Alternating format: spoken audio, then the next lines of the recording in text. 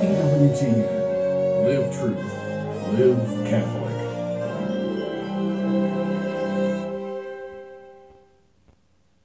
Family, a prayer that we pray together is a powerful prayer. So please pray together with me our EWTN family prayer.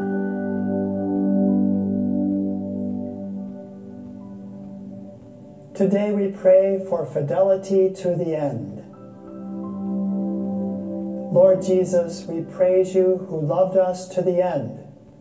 We ask you for the grace to be faithful to you until the end of our lives. Never let us be separated from you, but grant us the grace of final perseverance. We pray for a happy death, that we may know the joy of a life lived well, faithful and true, rich in charity, united with you in life and in death. Protect us from the evil one and keep us always in the refuge of your most sacred heart. Amen.